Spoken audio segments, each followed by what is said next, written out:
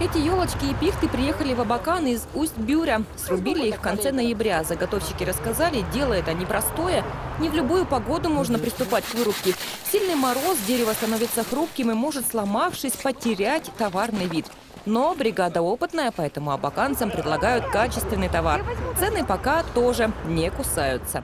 Цены на главный атрибут новогоднего праздника не изменились практически по сравнению с прошлым годом. Например, вот такая маленькая елочка, чуть более метра она высотой, стоит около 500 рублей. Ну а вот такая красавица, которая стоит позади меня, она около трех метров, обойдется в две с половиной тысячи. Таких елочных базаров развернулось в Абакане более трех десятков. Покупательского ажиотажа нет, абаканцы прицениваются. Многие и вовсе против живых деревьев в квартире. Искусственно. А почему? Ну, просто выгоднее так. А у моей внучки вообще во дворе елки.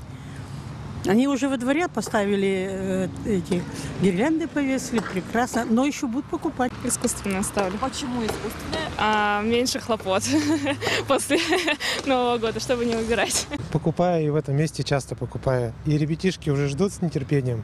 Поэтому прибежал посмотреть. Чтобы праздничное настроение сохранилось дольше, специалисты советуют ухаживать за елочкой. Особенных усилий для этого не потребуется.